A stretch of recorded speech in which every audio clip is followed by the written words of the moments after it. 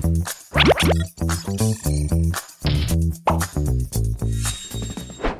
everyone! Once again, it's time for the PUBG Mobile Dev Q&A. Recently, we've been receiving loads of questions about the Royale Pass. Let's take a look at our first question. Question 1. I'm concerned about the Royale Pass rewards, so I'd like to know if there will be even more appealing items in the future. What a coincidence! We will be fully upgrading the Royale Pass with the launch of Royale Pass A1. On top of the original rewards, we'll be introducing more unique and compelling items. First, we have the highly customizable color changing outfit. Once you've upgraded the pass to the max rank, you can get an outfit. The Spectre Slayer set of this pass is the first outfit to support custom colors. Based on your own preferences, you can change the color of various parts of the outfit. At level 1, you can change the color of its armor and accessories. After using a pearlescent upgrade card, you can change the color of more parts. You can get it as a reward for upgrading the Royale Pass, completing missions, and redeeming it from the event shop. The Royale Pass contains enough pearlescent upgrade cards to upgrade the outfit to its max level and unlock all the customizable parts. Changing the color of a certain part only requires a small amount of silver. Since you can freely match various colors for just one outfit, it's equivalent to getting several outfits in one. Besides the new color changing outfit, we've also added modification material pieces to the Royale Pass. They can be combined into modification materials, which are used to upgrade firearm finishes.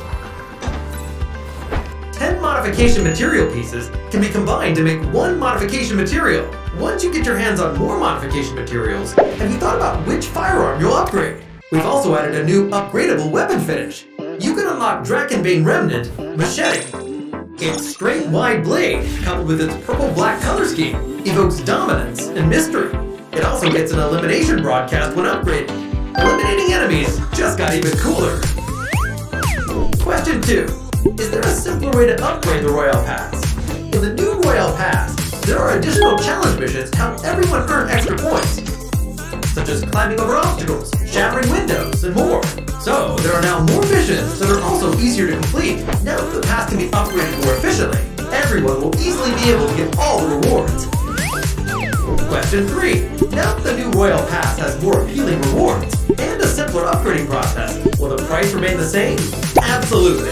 The price for the new Royale Pass hasn't changed. After the update, the Royale Pass season will last two months, and the max rank will increase to 100.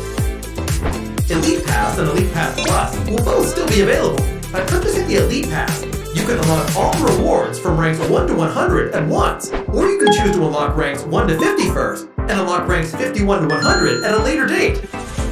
The rewards for ranks 1 through 50 and ranks 51 through 100 both include UC.